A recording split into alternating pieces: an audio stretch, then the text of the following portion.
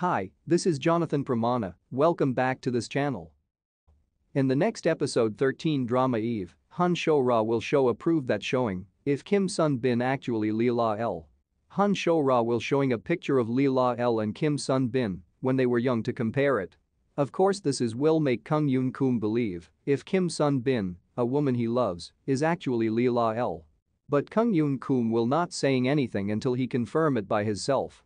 Kang Yoon Kum will watch the CCTV in his secret room to confirm what actually Lee La-el find.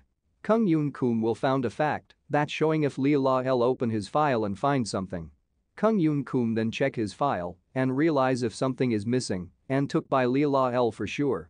Kang Yoon Kum looks very shocked and I can say if he is mad right now. Is it the right time to see how bad Kang Yoon Kum was? Kang Yoon Koom will also following Lee La-el secretly because he is curious what actually Lee La-el plan is.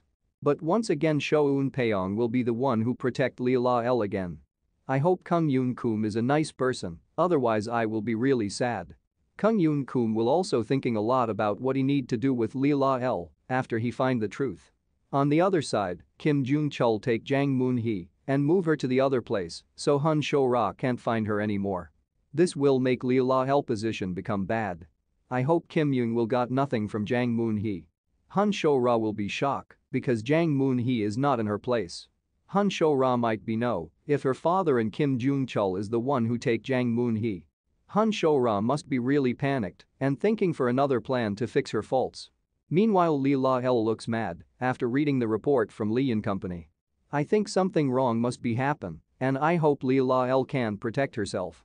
On the other side, Han Pan-ro and Kim Jung-chul found out if they were spying by someone all this time. This episode 13 will be full of tension and I hope nothing bad happen again. What do you think? Do you have a theory and opinion about this? Don't forget to write your theory and opinion in the comments column.